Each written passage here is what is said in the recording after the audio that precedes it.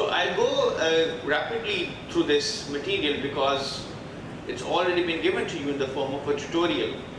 Suppose I have a battery and the battery of course has a positive terminal and a negative plate and connected with this battery is a simple circuit conducting wires and a resistor which as you all know by now can be modeled by a thin piece of wire. So current is flowing through this circuit. Now current is flowing which means that there is an electric field inside the wires. The electric field is axial with the conductors inside the wires. It's uniform.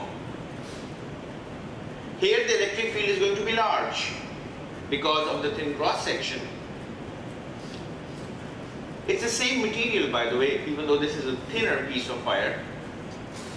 And then there is the axial electric field. Inside the battery, the electric field seems to be pointing in the wrong direction. And this is a large electric field because this distance, even though I've drawn it in an exaggerated form on the blackboard, is small. So the round trip electrical field's line integral is zero. E dot dl is zero around this round trip. So this is a, the axial electric field inside the conductor. Alright. Associated with this electric field is of course there is a current density J.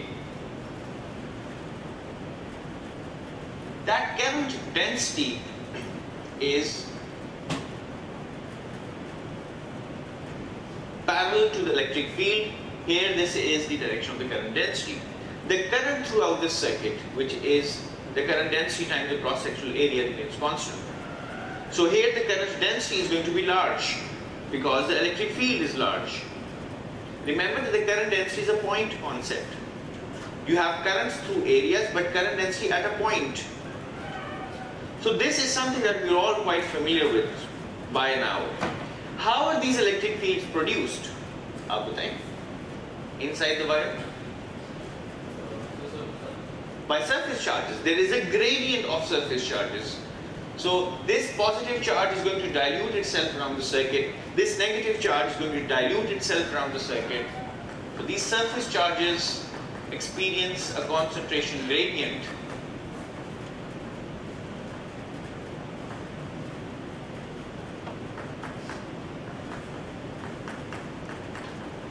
Because of that uh, concentration gradient, the electric field exists inside the conductor, which makes a current density and the current goes around. Now, if this was an electric light bulb, it would give us heat and energy. If this were an electric iron, it would give us thermal energy. If this were a motor, it would give us mechanical energy. We could do useful work with it. So energy is evidently being utilized here. That energy must be coming from somewhere. Now, where is that energy coming from?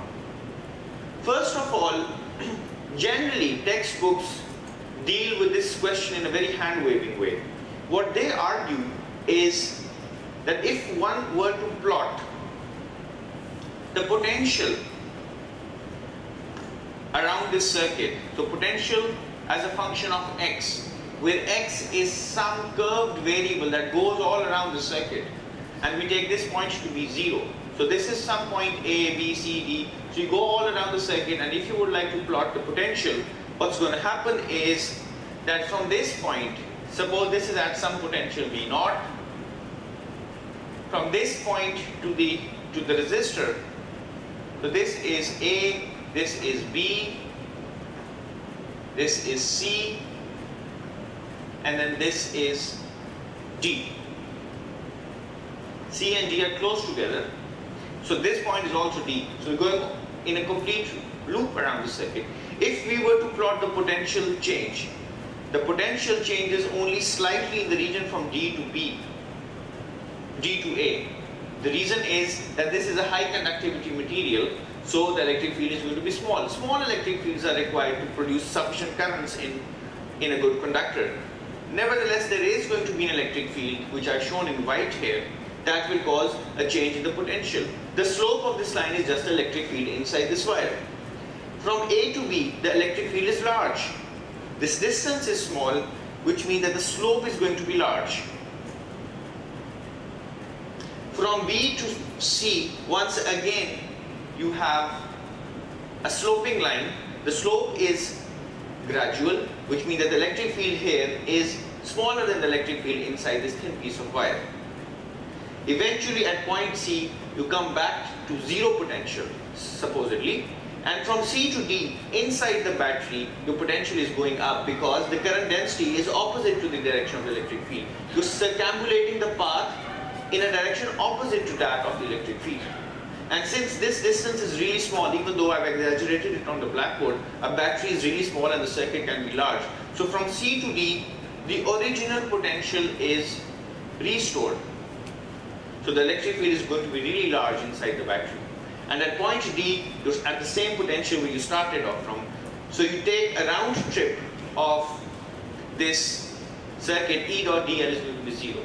You take the slope here, the slope here, the slope here, and the slope here. These are three negative slopes. You add the three negative with the one positive slope, you get zero. And this is what the Faraday's law really is. Right? This is Faraday's law for non-changing magnetic fields. This is a steady current, so there is no changing magnetic field here. There is no non-conservative electric field. So what generally authors do is that they would say that all right, let's multiply this potential with the energy with the charge on electron to get the potential energy. So what they argue is that if electrons are drifting, they are of course drifting, this is the drift velocity, that's the drift velocity of the sea of electrons. If the sea of electrons is all moving in a gradual giant march from point D to C and back to D, the speed is really small, a few millimeters per second. So if you multiply this potential with the charge, you get the potential energy. So generally it is argued that the potential energy of the charges decreases as you go from D to A. It decreases even further as you go from A to B. That decrease in potential energy appears as energy that is available for other purposes. For example, it may appear as the kinetic energy of the electron, which appears as thermal energy, and you heat up a light bulb. And then you restore the energy as you go from C to D. But there are certain problems with this approach. One problem is that everything, this energy transfer is instantaneous. So you switch on and off an electric light bulb, it immediately switches on. Even though the EMF source may be in Tarbela or Mangla. So in charge energy transfer is instantaneous. If the drifting sea of electrons were to contribute to this energy transfer, it could it would fall short of a good explanation because energy transfer is instantaneous. The second problem is that if I reverse the polarity of this battery, which means if I had an AC source instead of a DC source, even then the light would light up. So for an AC source, what's happening to the electric field is that inside the wire, it's constantly changing its direction. So if I were to plot the magnetic, the electric field's magnitude inside the wire with time, in an AC source, it's constantly changing its direction, which means that the current density is constantly changing its direction. But how can energy still transfer from the electric, from the battery to the electric light bulb if the flow of current has now reversed? It's reversing at some frequency. So this AC description is unwarranted. It, it cannot be described by this simple naive approach of energy transfer from the battery to the to the resistor. But indeed energy is coming out of somewhere. It's becoming available. So how do we and, by the way this approach would say that the energy of electrons is smaller here than here. It's even smaller here because the electrons are falling downhill on a potential so their energy is going down or if you talk about electrons, electrons are increasing their energy. But if you consider positive charges, the positive charges have a large energy here.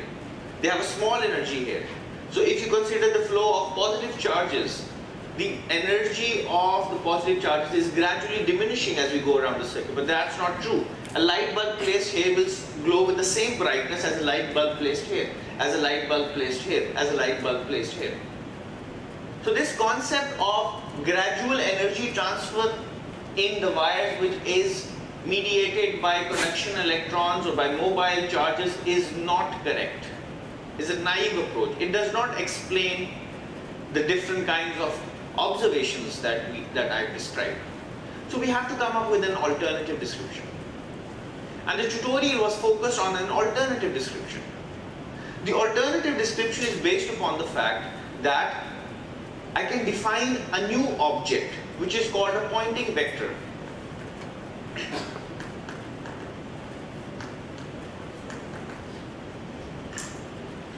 I denote it by S, it's a vector, so I put an arrow on top of it. And this is really a cross product between an electric field and a magnetic field. And I divide this by mu naught. So we know what the electric field is, we know what a magnetic field is. The cross product is called the Poynting vector. This tells us the flow of energy per unit area per unit time. So it's intensity per unit time, it's the flow of power per unit area. And this is through a surface. So if I were to take a surface and on this surface there was an electric field pointing upwards and a magnetic field, for example, that was pointing out of the plane of the blackboard. So E and B were normal. So electric field is upward, magnetic field is out of the plane of the back blackboard. If I take the cross product E cross B, I get a Poynting vector that is pointing in the right direction. This really means that energy is flowing through this surface and S gives you two things. It gives you the direction of energy flow. Energy is flowing from left to right here because this is what E cross B tells us. The second thing is that it tells us how much energy is flowing per unit area, per unit time of the surface. That's given by the local cross product of E and B. So units of S would be watts per meter square. So now let's try to use this concept to determine which direction the energy is flowing in inside the circuit. For that we have to know what the electric fields are and we have to know what the magnetic fields are. Alright, so let's suppose these wires are really thin. So let's talk about the electric and magnetic fields outside in the close vicinity of the circuit. And see what the relative orientations of the electric and the magnetic fields are. And let's, from that information, try to deduce what the Poynting vectors are. Do you have any questions up to this point? It's important you understand this, otherwise you'll falter with me. You will not follow. Any questions? This concept of Poynting vector is generally introduced to students when they are first exposed to electromagnetic waves. But the Poynting vector is a more general concept. Even when you're looking at DC circuits, AC circuits, this concept is equally valid. So this is an unusual approach of introducing the Poynting vector. We'll look at it again next week in the context of electromagnetic waves nevertheless. Any questions?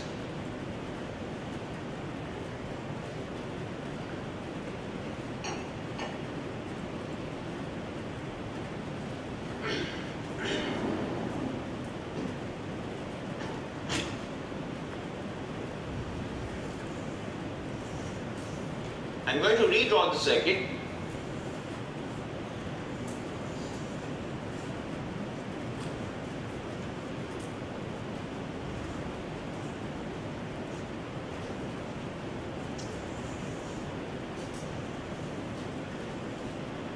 Positive terminal, negative terminal.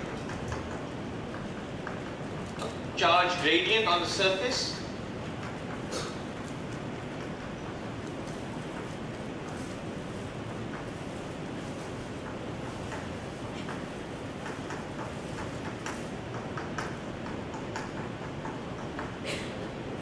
Now what we would like to draw is the electric field pattern outside this circuit, in the immediate vicinity of this circuit. But before I draw the electric field, let's draw the magnetic field. It's easier to figure out what the magnetic field is.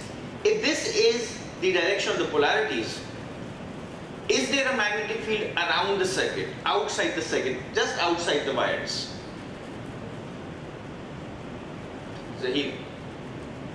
Up. G, up. Okay, क्या direction? What would be the direction of the magnetic field here? Upwards? Yeah? Left? To the left? Into the plane of the blackboard. Right. So let's draw the magnetic fields. Outside here, the magnetic field is going to point into the plane of the blackboard. Here is going to point outwards. Right? So this is the direction of the current flow. Inwards, outwards. So in yellow, I'm drawing the magnetic fields. What's the direction of the magnetic field here? Here. Inwards. Inwards, outwards. Here, once again, outwards, inwards. Outwards, inwards. Right? The current is flowing in this direction.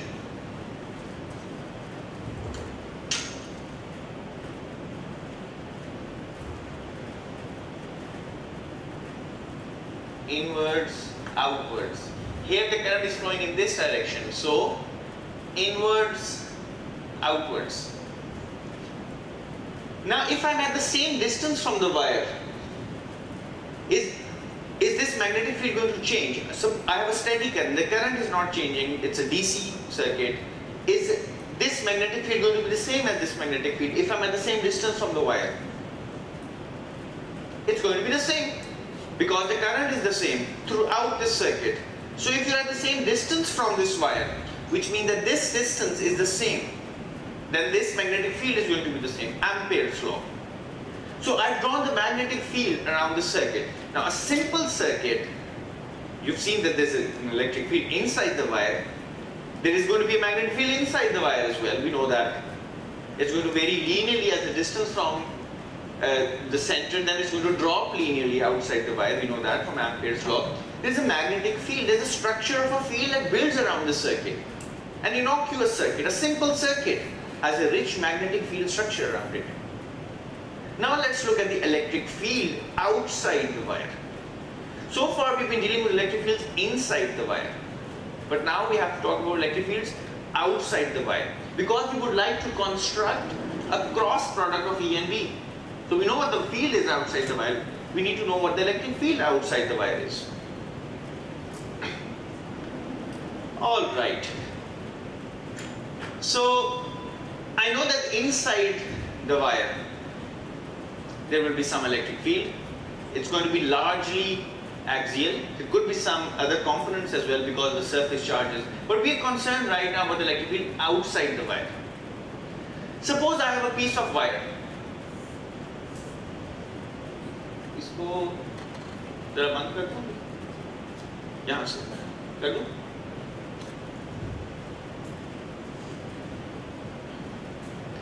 Suppose the current is flowing through this wire and it's a steady current. Now the electric field inside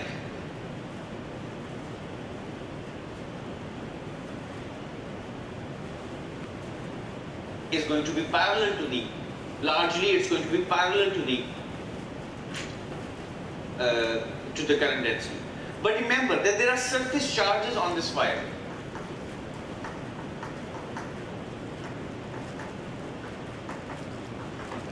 Which make this electric field in the first place.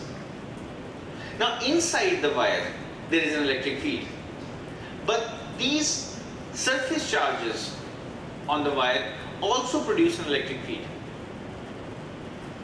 Remember, this is not a condition of equilibrium, otherwise the electric field inside would have been zero. But since we have a current flowing, there is the possibility of electric field inside the wire.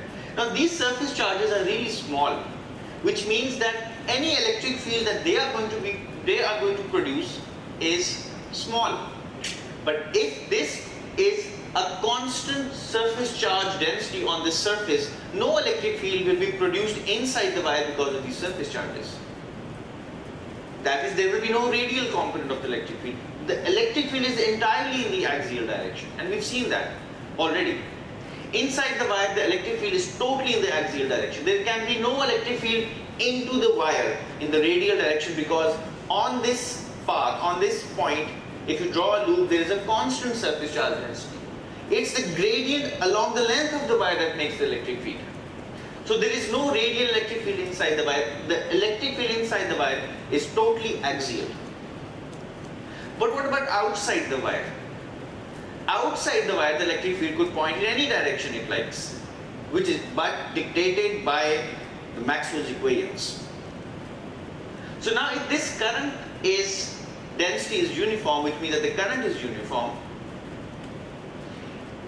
outside this wire, we have a charge so forget about the, the axial field. Let's look at the radial field. Radial means something that goes along the radius of this wire. Axial is something along the axis. So there, there is more charge here, more positive charge here. There is less positive charge here.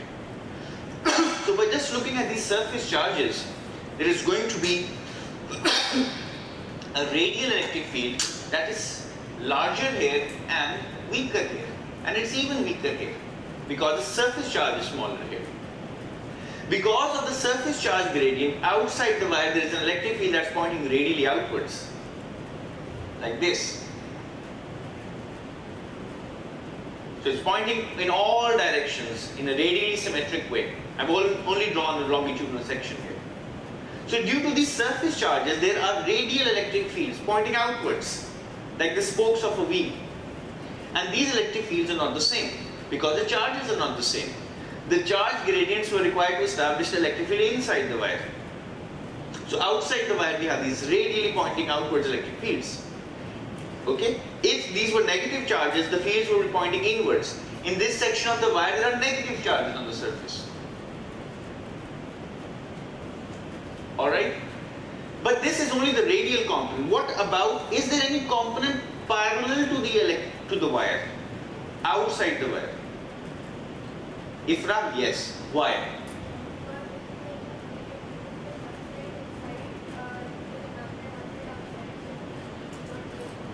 Not an Amperian path, but a Faraday loop.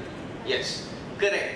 There has to be an electric field along the axis outside this path as well. Why? Because if I were to draw a path like this,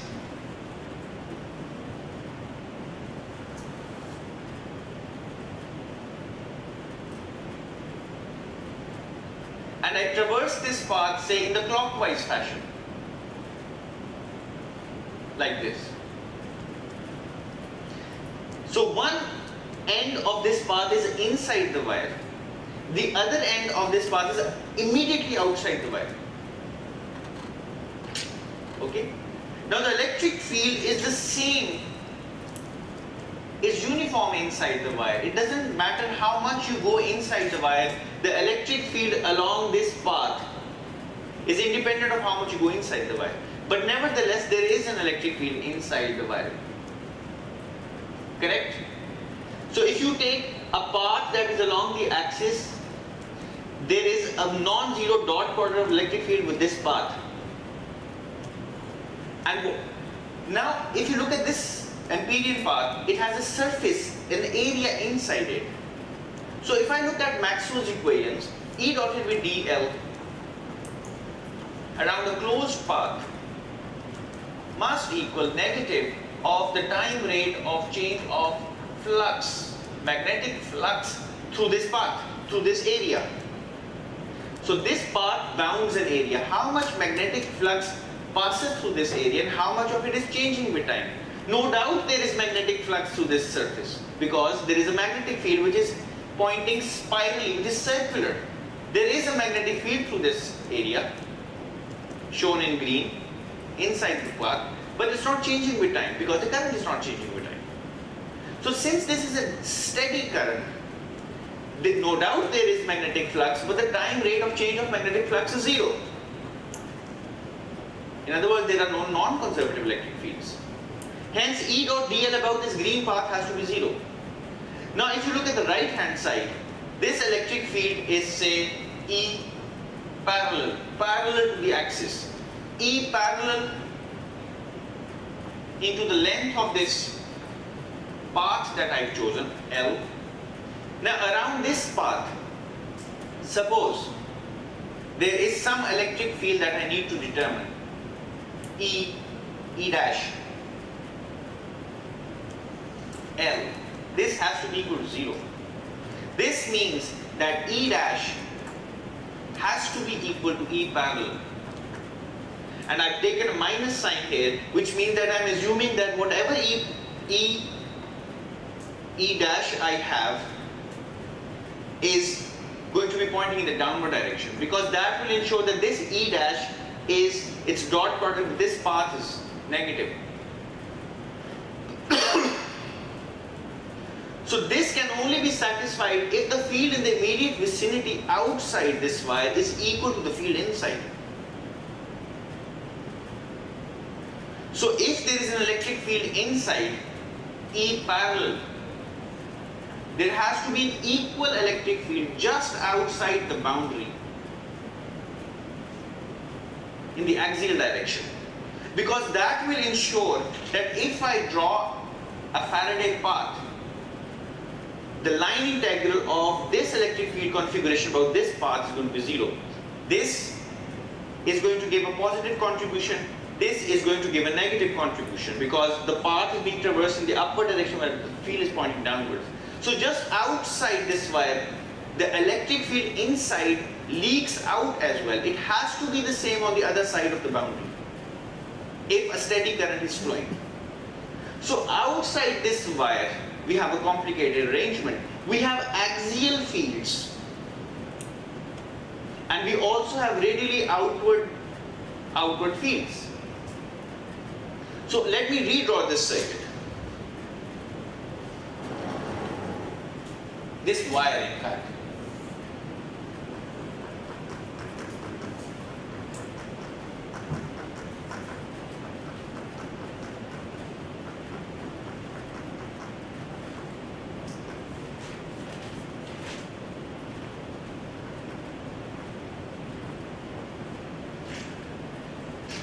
there is a uniform axial electric field inside,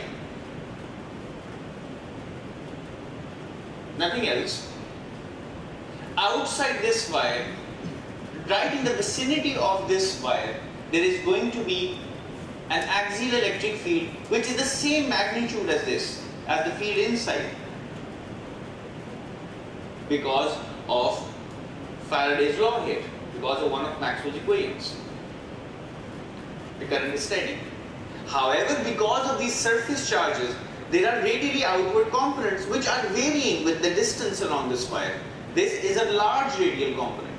This is a small radial component, a smaller radial component, an even smaller radial component because the charges are getting smaller on the surface. Correct? Likewise, we'll have a field configuration in the same manner in this way. The axial field remains constant and the radial field drops in magnitude. So now the electric field outside is just a resultant of these of the axial and the radial components. Here the field is largely axial because the radial component is small.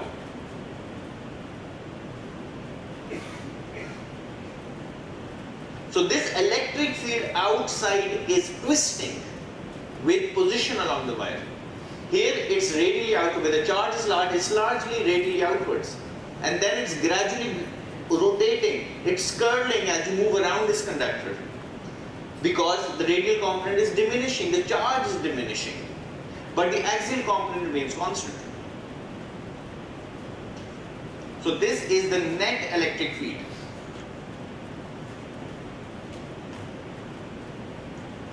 It is curling as we go around the circuit. Now if this were a negative wire, a negative portion of the wire, which means we have a charge distribution which is negative,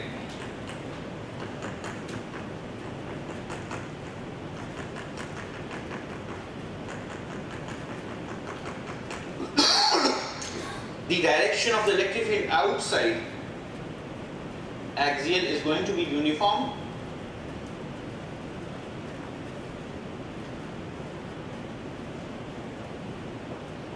then there is going to be an inward pointing electric field, a small field here, a larger field here, and even larger field here because the negative charge is large.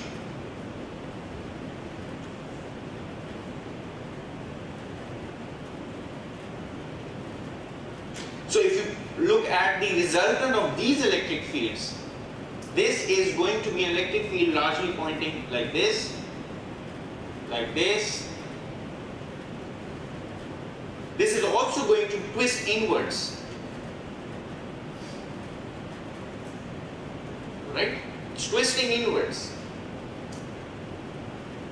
Now we have this formulation and we can plot the electric fields in this circuit. Let's draw the electric fields inside the circuit. I'm going to draw these electric fields in blue. In this region, for example, there is a strong electric field. And that electric field is pointing in this direction. Strong electric field. And it's only axial. There are no surface charges on the curved surface of the battery. Here the electric field inside is large and the electric field outside is small because the surface charge has been neutralized. They, both of these positive and negative charges have diluted to an extent that this is effectively neutral on the surface. So there are no surface charges here. This is a symmetric this circuit. So even though the electric field inside is large, there are no surface charges. So outside the electric field is going to be totally axial.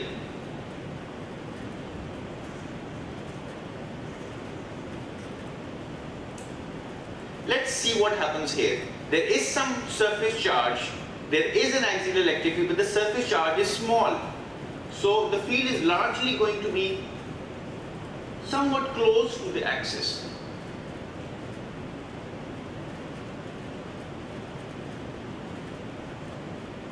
Here, there is a large surface charge, large axial field. So this is going to be pointing away from the surface. Here, the surface charge is really large.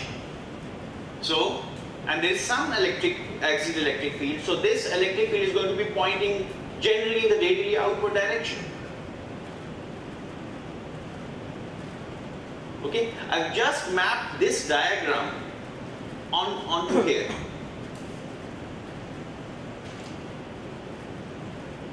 I give you half a minute to think about this.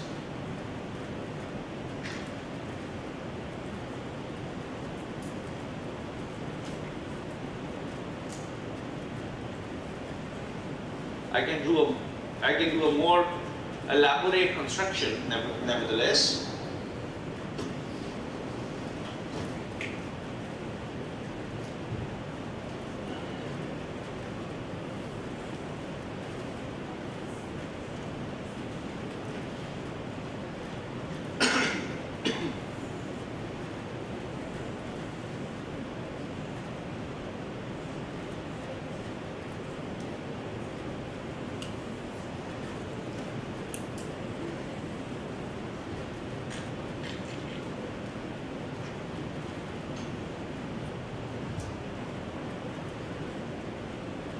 In yellow, I'm going to draw the electric fields.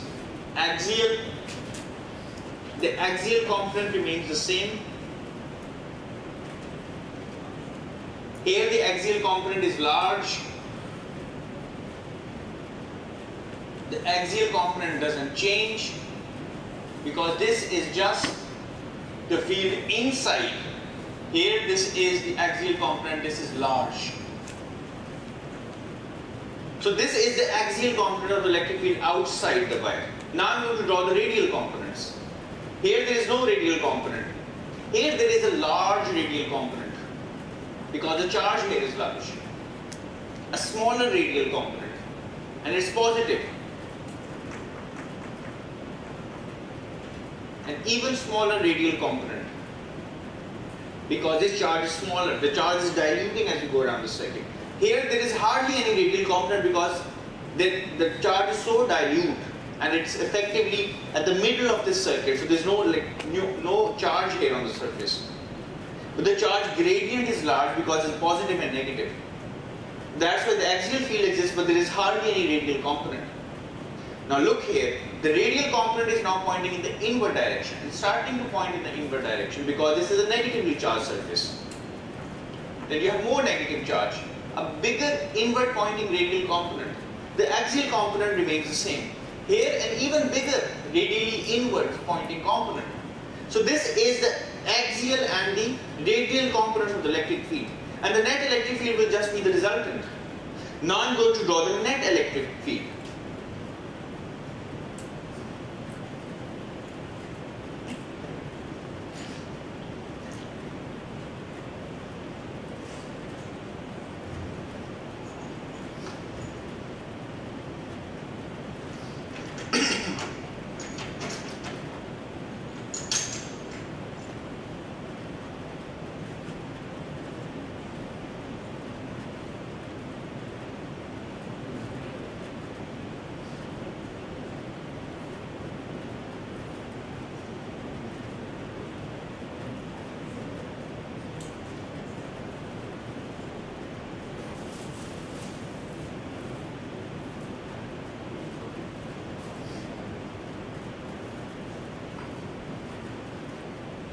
You see, here the field is pointing in the outward direction, away from the wire.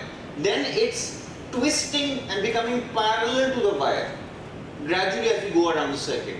Here it's parallel to the wire. Then it starts to it starts to converging into the wire.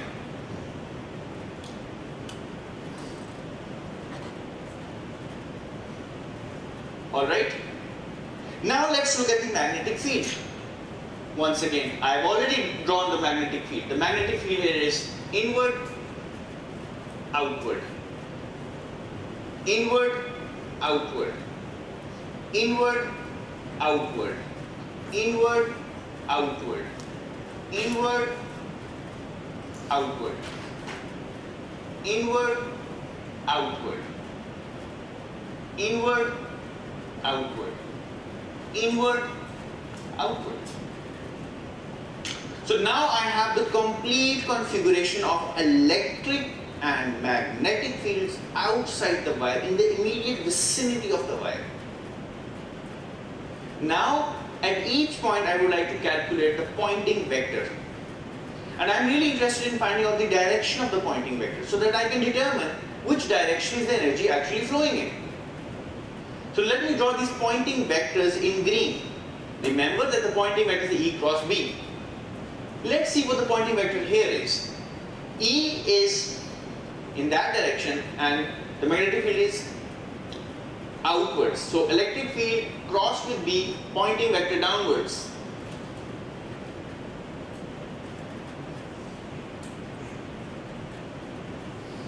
I'm drawing the Poynting vectors in green. These are the Poynting vectors.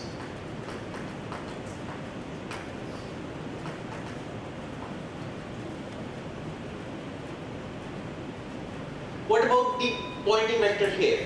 Electric field in that direction, magnetic field inward, Poynting vector upwards.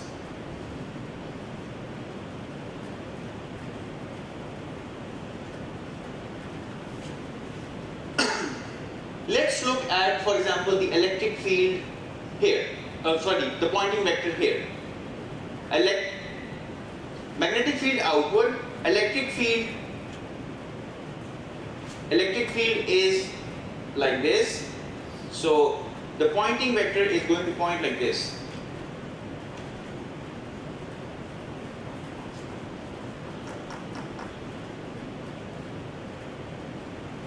Here the Poynting vector, the electric field like this, the magnetic field into the plane of the black, okay? So E cross with B. This is the direction in which the Poynting vector is going to point. Remember, it's normal to the electric field and to the magnetic field. So you draw a vector just normal to this electric field here because it's a cross product. The magnetic field is pointing inwards anyway, so it's this Poynting vector is in the plane of a blackboard. It's normal to this net electric field, E cross B. It has to be normal to both E and B. B is into the plane of the blackboard anyway, so it has to be normal to this. So energy is flowing like this. Here energy is flowing out of the battery. Let's see what, what's happening here. Here, above the resistor, the electric field is pointing like this, the magnetic field is pointing outward, the Poynting vector is pointing like this, into this piece of wire. So energy is flowing into this piece of wire, into this resistor. Below this piece of wire, the electric field is still pointing to the right, the magnetic field is pointing inwards, so the Poynting vector is pointing upwards. So here the Poynting vector is pointing upwards.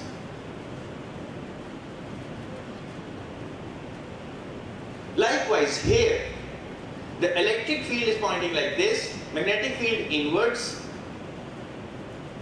So Poynting vector points downwards like this. It's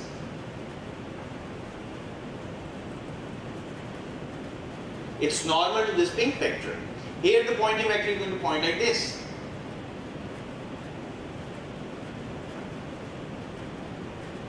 Let's look at the Poynting vector here. The electric field is pointing in the downward direction, magnetic field in inside. So this is the direction in which the Poynting vector is pointing. Uh, electric field downwards. Uh, if the electric field goes downwards, okay, let's look at the look at the Poynting vector here the electric field is like this, magnetic field is out, so this is the direction in which the Poynting vector is pointing and here this is the direction the Poynting vector is pointing. So now look at this circuit and bring this concept into your minds, into your graphical memory. What's happening here is we've set up electric and magnetic fields outside the circuit and we've calculated or qualitatively seen the direction of the Poynting vectors. The Poynting vectors are pointing outward from the battery. So energy is flowing outward from the battery and is flowing into the wires. Here the point energy is flowing into the wires. Here the energy is flowing into the wires. Here the energy is flowing into the wires. Here the energy is flowing into the wires. And in fact, in this region, where the resistance is large because the wire is thinner, the Poynting vector is normal to the axis of the wire. So it's all of this energy is concentrated towards this resistor, towards this thin piece of wire, where there's no charge on the surface. So generally, from this diagram, you can well imagine that energy is flowing outwards from the battery, it's radiating outwards from the battery, and is culminating into the wires. It's concentrating into the wires. They are sucking energy. This resistor is sucking the most energy. Most of the energy is being delivered to this resistor. So generally energy is flowing outwards from the battery and into the wires. If this were a perfect conductor, how would the scenario change? Suppose all of these thick wires were perfect conductors. What's going to happen then? What about the surface charges on a perfect conductor?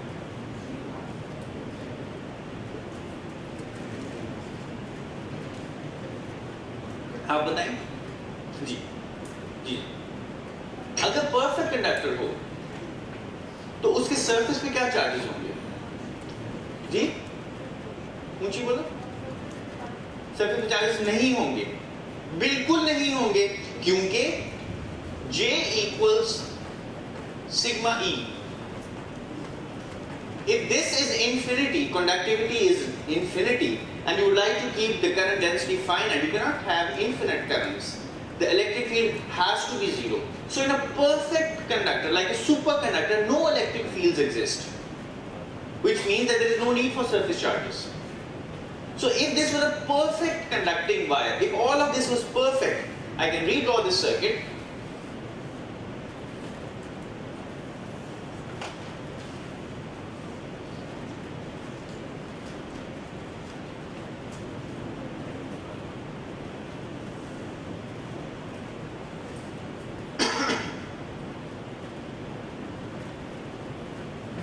No surface charges means electric field inside.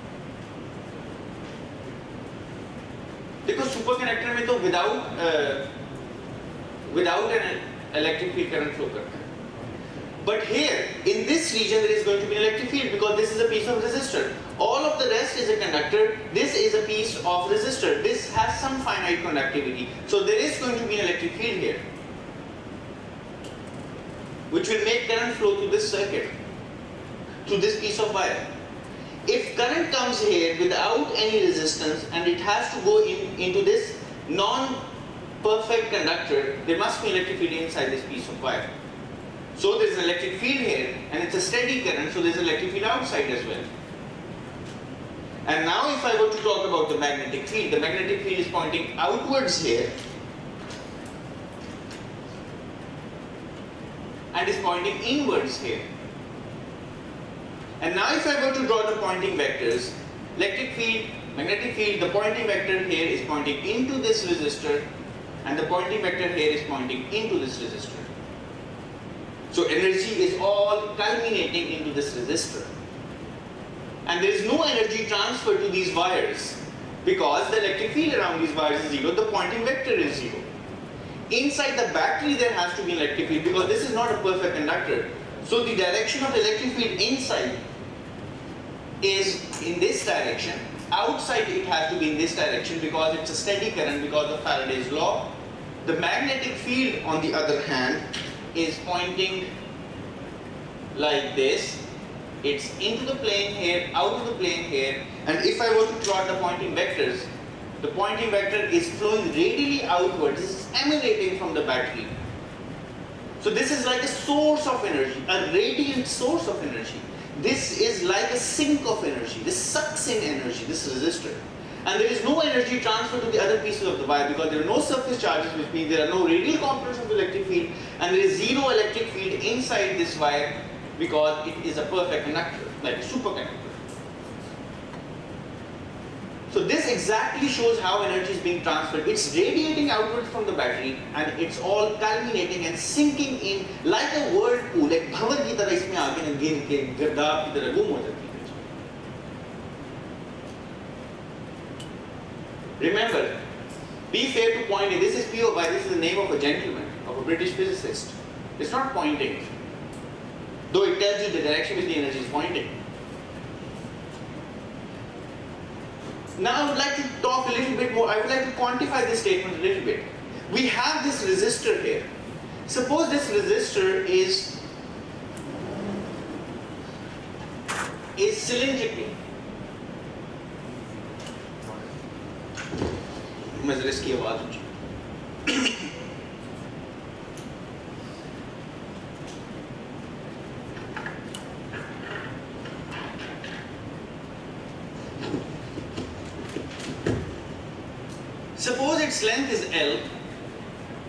Radius is capital R. The current through this resistor, suppose it's I. Now I would like to calculate the Poynting vector on the surface of this resistor. The Poynting vector's magnitude is given by 1 over mu naught E crossed with B. Now E and B are normal to one another, so the angle between them is 90 degrees, so sine of 90 is 1. Here they are also almost normal to one another because there is no charge here. The field is entirely, electric field is entirely axial and the magnetic field is entirely circular into or out of the plane of the black hole. So this is the magnitude of the energy going into this resistor per unit area per unit time. And I'm assuming that all of this energy is going in through the curved surface. It has to because the Poynting vector is radially inwards to this. So if I look at this resistor and I look at the cross section of this resistor, this is R. So the Poynting vectors around this resistor, they're all pointing inwards.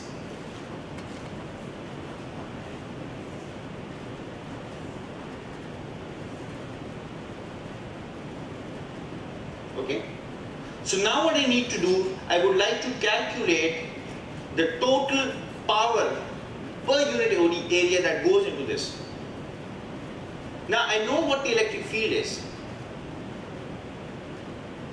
If if the potential difference across this piece of conductor is delta V, there has to be potential drop inside the circuit here, look here, from point, this point to this point, from A to B, there is a potential drop.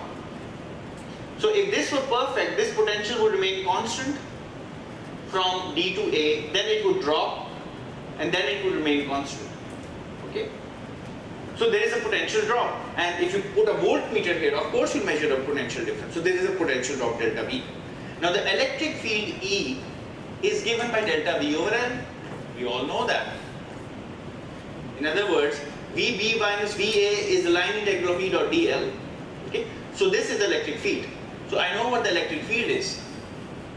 Remember in practical circuits, you can't measure electric field directly. So you can measure voltage, you can measure intensities. What about B? B depends upon the current. If I use Ampere's law, B into 2 pi capital R is mu naught I. Which means that my B is mu naught I over 2 pi R. So I put this B in here.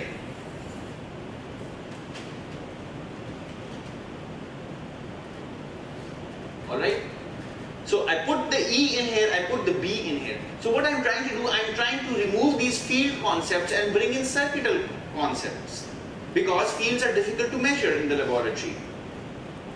You can't measure electric fields directly even though you can, but it's easier to measure potentials or because you have voltmeters or intensities because you have photodetectors or detectors that measure intensity which is the square of the electric field.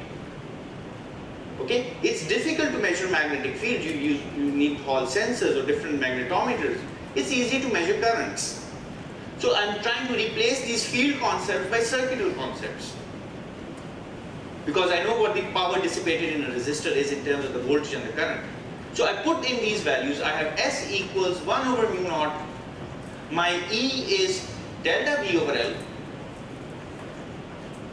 My B is mu naught I over 2 pi r. So this mu naught goes away. I'm left with delta V into I over 2 pi r L. This is in watts per meter squared.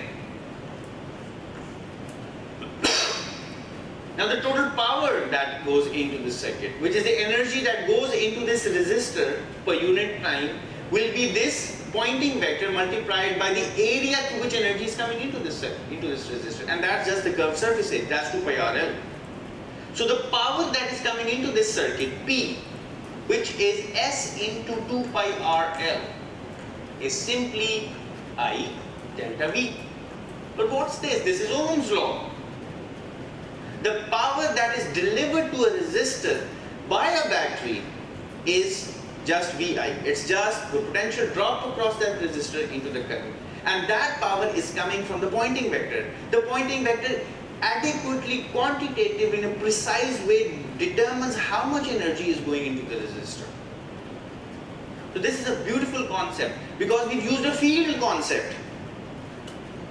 We used a field concept to and to bring home an idea that you're already familiar with from your secondary school, that is the Ohm's law. So everything can be described in a consistent fashion using field concepts. Now what I am trying to do here is, is a demonstration that was really hard to build. Even though it looks very simple. But it's quite, quite a feat actually. It took me quite a bit of time to actually build this and think about it. The reason, what I would like to do, I've been talking so much in this course about surface charges on conductors. So much about, about those. But I haven't yet shown you those surface charges. It's difficult to show surface charges because they are so feeble. They're extremely weak. Maybe of the order of nanocoulombs or picocoulombs, possibly nanocoulombs. So they're really small charges and they're hard to show.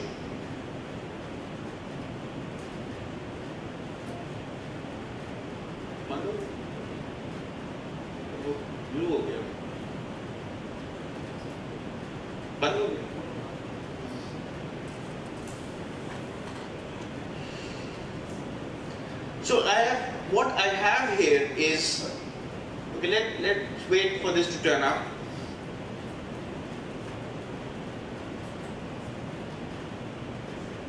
मेरे ख्याल दोबारा करना पड़ेगा वो।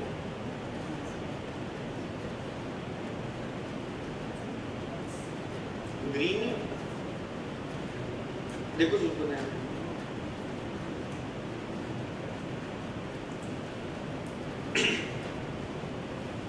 बात समझ आ रही है मैं क्या कहना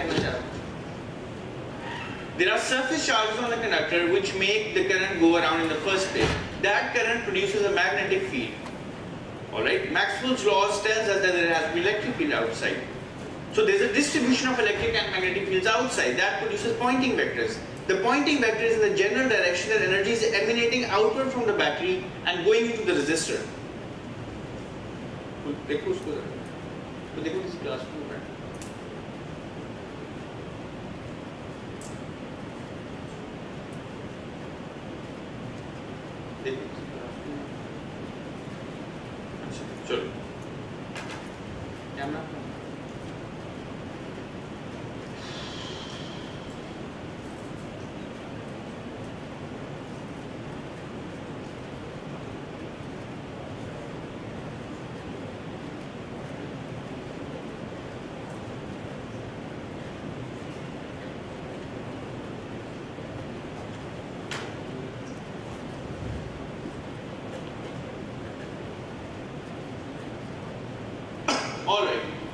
Let's look at the circuit. So what we have here is, I have a battery, a 5 volt battery,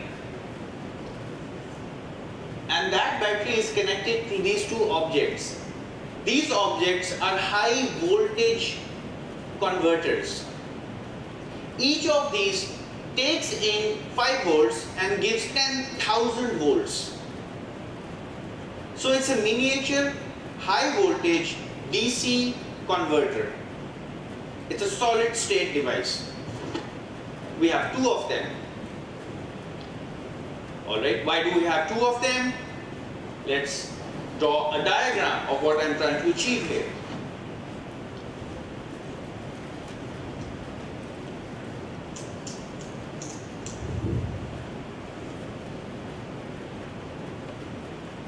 I have one high voltage supply, maybe 10,000 volts, and I connect it with another high voltage supply of 10,000 volts.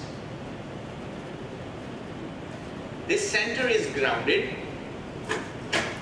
So I have a positive terminal and a negative terminal and I connect five resistors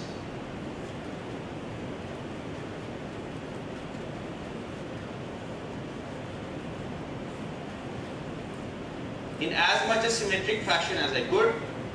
Each one of these resistors is say roughly 50 mega ohms. So this large voltage drop, which is about 20,000 volts,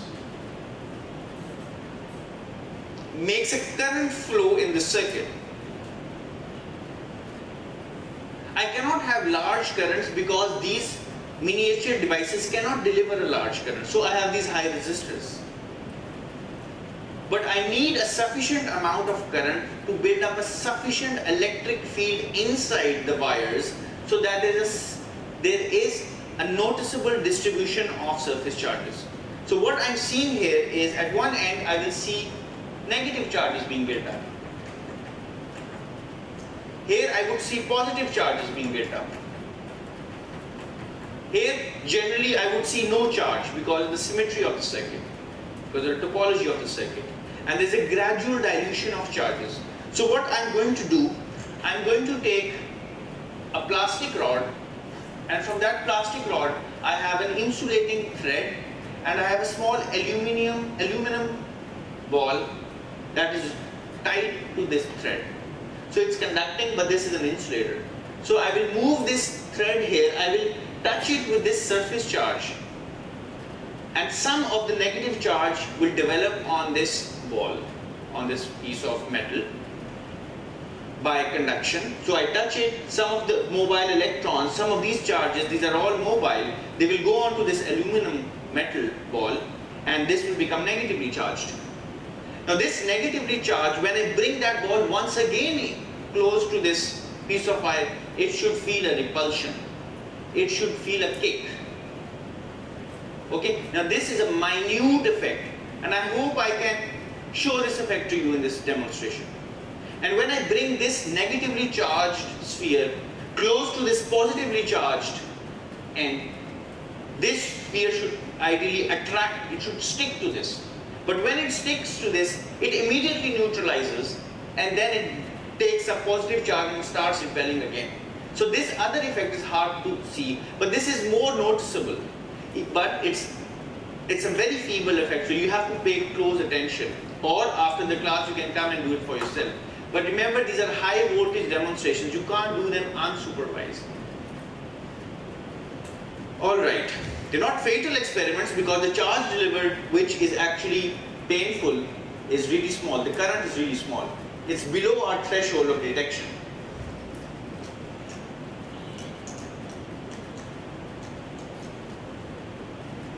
Okay, let me see if I can show this effect. I turn on this power supply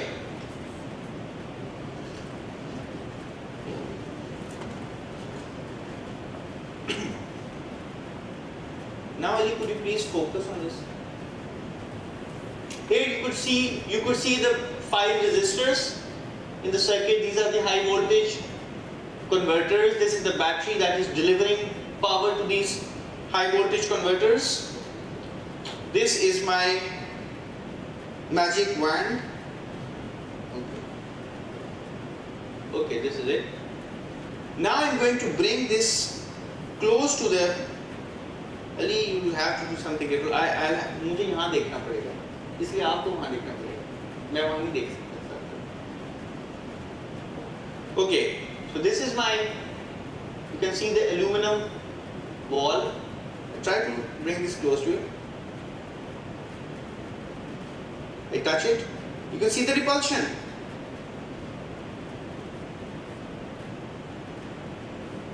I'm holding my hand fixed as soon as it touches this piece of wire, it sees a kick. See the kick? See the kick?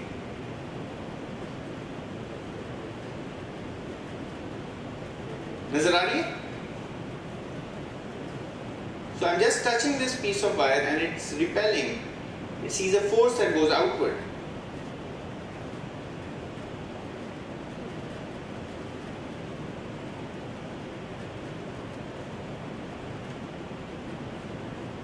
सी नजर आ रहा है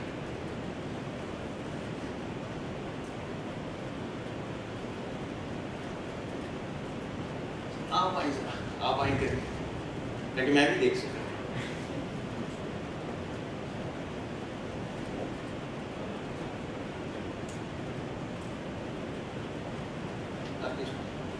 neutralize this. I'm going to hold this with my hand. I'm going to neutralize this. अब आपने ना इसको touch करना इस wire को हाथ में ठीक है और फिर टच करके देखो वहाँ पर फील रिपल्शन राइट देखा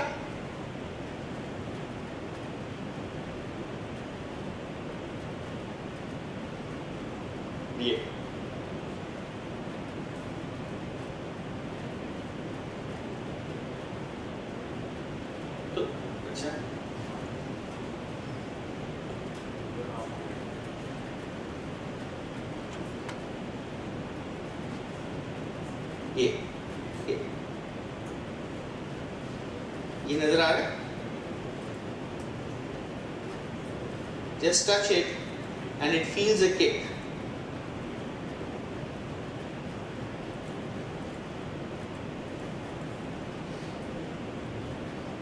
So i if I keep it static and I keep it touching, it's going to bounce from away from this wire.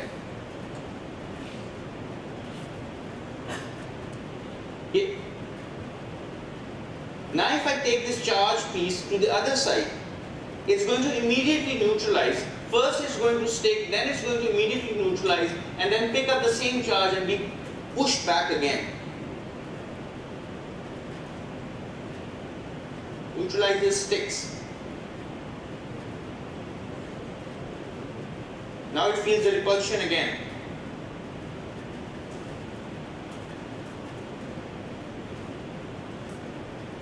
Okay, let me do this once more. It neutralizes. Then I bring it back close, I touch it, starts feeling the repulsion, gets these outward kicks. I don't see a kick in the middle of the circuit because that's almost neutral.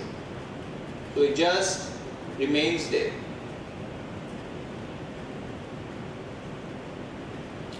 Alright, so I couldn't find many demonstrations like this. In fact, any demonstration like this that, that has been done, it's there in textbooks. I hope one day one of you could come up with a more sensitive device, a more sensitive electrometer, a more sensitive experiment to actually quantify these charges on the surface of the conductor. So with this I would like to thank you. We're going to see you on Tuesday inshallah at 8 a.m. It's going to be a quiz Tuesday after, uh, Tuesday evening and we'll have our last class